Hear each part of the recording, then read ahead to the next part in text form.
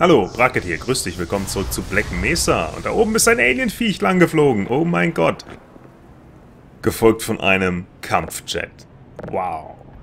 Das heißt, jetzt wird's langsam interessant. Oh, hallo, mein Freund. Und goodbye. Hier scheinen richtig viele Voting Guards zu sein und, äh... Ja, und tote Security Guards, tote Wissenschaftler, totes was auch immer. Oh, hallo. Und mach's gut. Und Minenfelder. I geht, I geht. Okay, hier kann man durch. Elektrische Zäune. Hm. Alles nett, meine, meine, meine Lieblingssachen. Ich muss ein kleines Geständnis abliefern. Ich habe diesen Teil schon mal gespielt. ähm, ist wieder mal abgestürzt. Deswegen weiß ich, dass hier Minen sind und da hinten eine ganz tolle Szene. Da können wir schon sehen, ein Security Guard liegt am Boden. Der ist noch am Leben. das gucken wir uns jetzt gleich mal an, was da passiert. Das ist nämlich ganz lustig. Der arme Mann braucht dringend Hilfe. Da liegt das Medipack. Und da oben ist ein Sniper. Oh. Bist du tot? Nee, du bist doch nicht tot, oder? Hm, anscheinend doch. Ja, da oben sitzt ein Sniper in diesem Lüftungsschacht. Ein Drecksack. Komm her. Dich hole ich mir.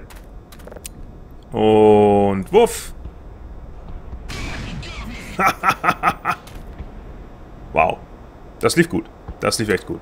Wunderbar. Wunderbar. Will ich mich nicht beschweren? Will ich mich nicht beschweren. Und... Hier ist ansonsten nichts mehr drin. Medipacks, die ich nicht brauche. Ihr armen Menschen. Ich weiß nicht, ob man euch retten kann. Dein Bein scheint komplett äh, transparent zu sein. Weiß ich nicht, warum das ist. Aber interessant. Sehr interessant. Oh, das ist aber ein, ein, äh, ein Monster-Minenfeld, möchte ich mal sagen, ja. Heiliger Scheiß. Ihr habt viele Minen hier. Und, kabum. Kablui. Und noch mehr. Irgendwie macht das Spaß, ja, aber die Minen nehmen kein Ende. Dann wollen wir doch mal ganz konservativ vorgehen und die einzeln abknallen. Ja, ja. Dich, dich. Und das soll mal genug gewesen sein für nun. Das Ding explodiert. Wunderbar. Ja, ich könnte auch Sachen auf die Minen werfen. Ich könnte zum Beispiel meine Waffen wegwerfen. die danach wieder aufsammeln. Wenn das in Half-Life ginge, wenn das Counter-Strike wäre ginge das ja. So. Oh, hallo. Dich hätte ich da fast nicht gesehen. Wie fies.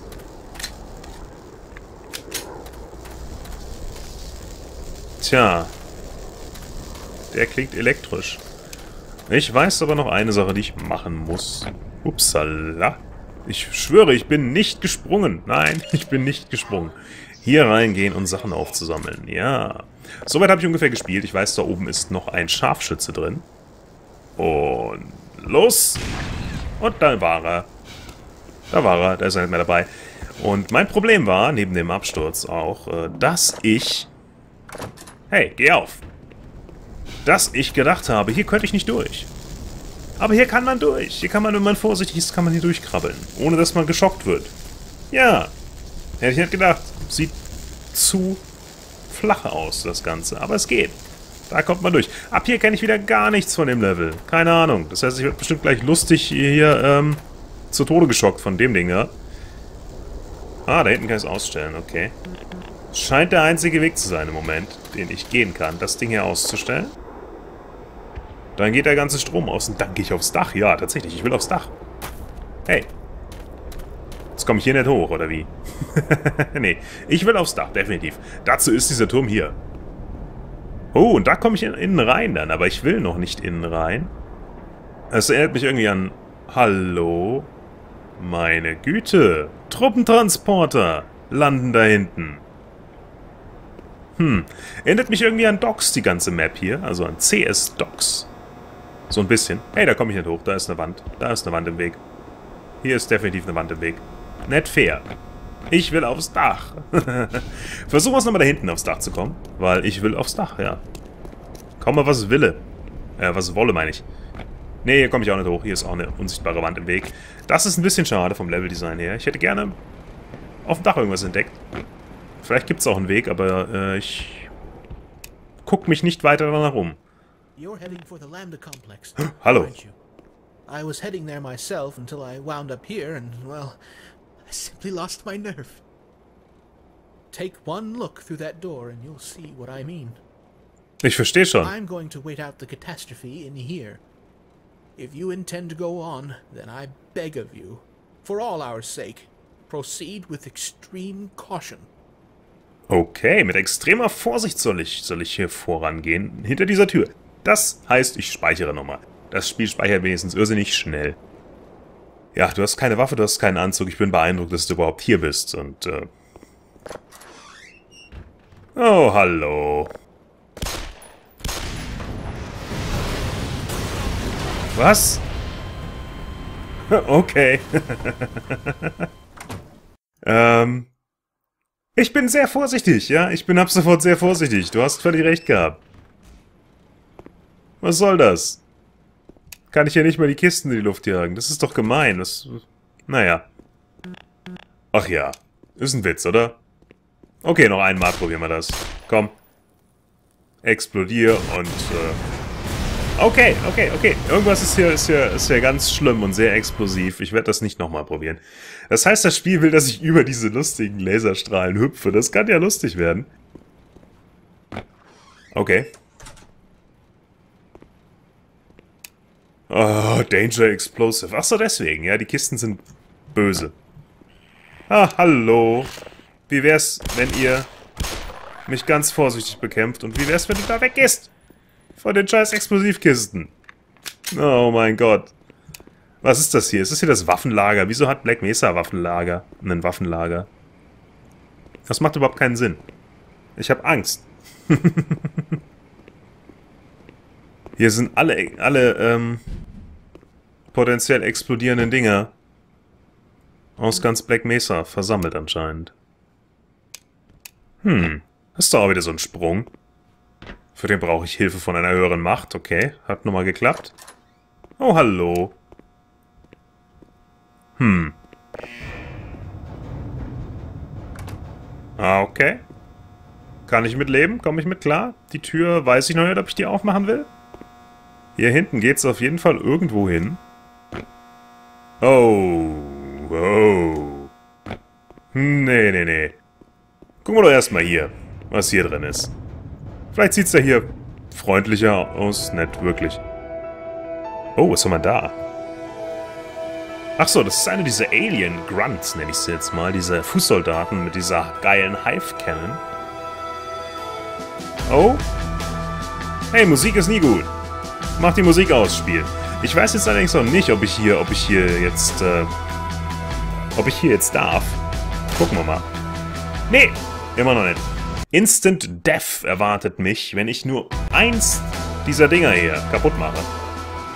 Das heißt, ich hoffe, hier sind keine Gegner drin, weil das würde dann sehr schnell sehr frustrierend werden. Denn ich will auf jeden Fall so viele Kisten wie möglich zerstören. Völlig egal, ob äh, es das schwieriger macht. Oh, da war ein Computer drin. Mit einer CD. Die CD gucke ich mir an. Auf jeden Fall. Hey, komm. Lass mich die CD sehen. Na. Ich will doch nur die CD sehen. Okay. Okay, wir haben ja Zoom. Ach so, ist nur eine wiederbeschreibbare Vierfach. CD, DVD, was auch immer. Äh, hallo? Ja. Hm. Hm. Vorsicht, Vorsicht, Vorsicht. Die Mutter der Porzellankiste. Was ist das denn? Ist ein Witz, oder? Da unten ist auch so ein Ding. Was ist denn, wenn ich das Ding zerstöre hier? Ja, auch ableben. Okay, okay. Hätte ja sein können, dass das, dass das nichts macht. Hätte ja echt sein können. Na komm, lade. Heiliger Scheiß, das ist das Warenhaus der Minen, ist das ja hier. Dann gehen wir hier direkt raus jetzt. Ach du Scheiße. Was bin ich denn? Bin ich ein internationaler Juwelendieb oder was ist hier los? Warum ist das so, ähm, so äh, mit Laserschranken und allem? Hier kann ich nicht hüpfen. Oh doch, hier kann ich hüpfen. ich versuch's lieber hier, oder? Oder kann ich hier durch? Ich kann hier runter durch. Komm. Ja. So. Also das Militär meint es auf jeden Fall ernst. Äh, okay. Ist da gerade ein Teil der Decke runtergefallen? Ich will es gar nicht wissen. Nee, ich will es gar nicht so genau wissen. So, was haben wir hier hinten? Raketen. Ach so, das würde erklären, warum das hier so so ähm, explosiv abgeht. Okay. Da drüber und dann weiter da hinten hoch. Ja, wie sieht's aus? Easy peasy, oder? Und alle hopp. Okay. Ein größeres alle hopp nächstes Mal. Schön, wie der Bildschirm so hellweiß wird. Es gibt bestimmt jedem von euch Augenkrebs. Mir gibt's Augenkrebs. Au, ich muss Licht anmachen jetzt hier.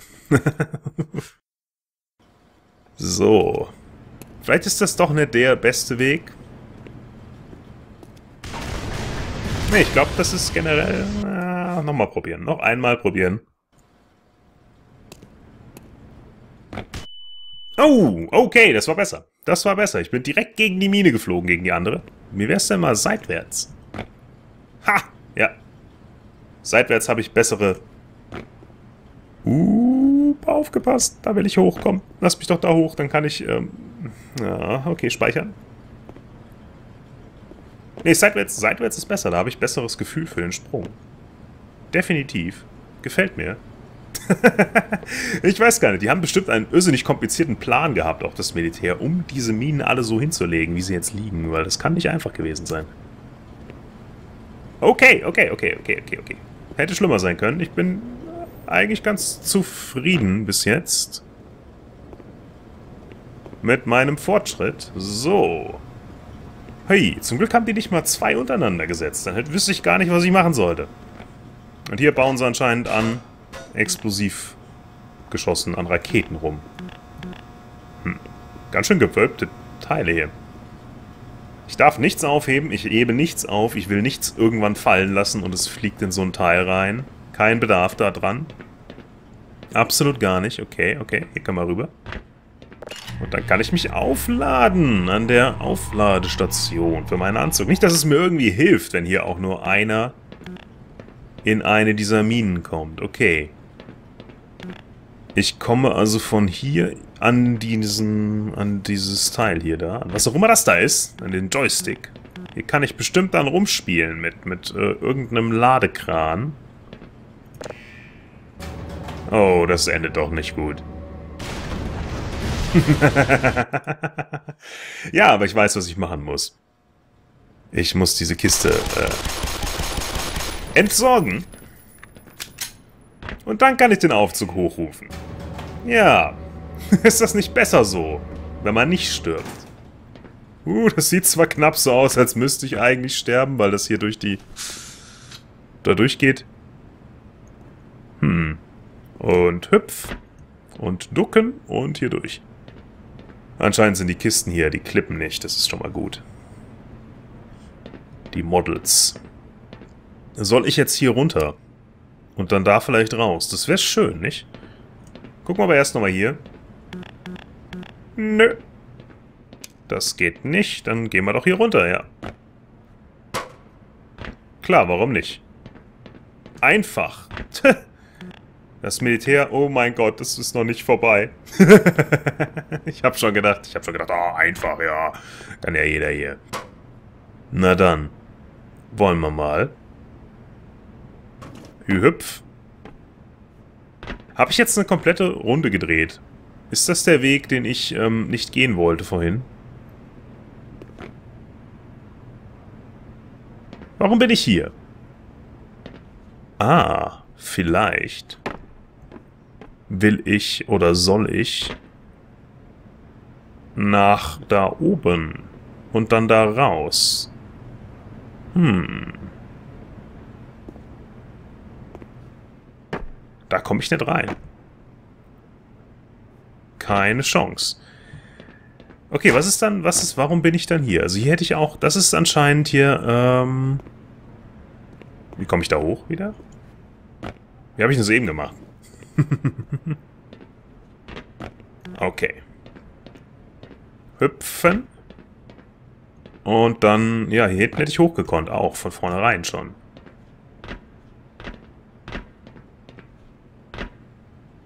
Hier hätte ich auch den Aufzug holen können. Hätte ich nur den Aufzug hochlassen müssen, damit ich jetzt unter den Aufzug laufen kann, weil unter dem Aufzug jetzt etwas ist eventuell. Das müssen wir, müssen wir mal überprüfen.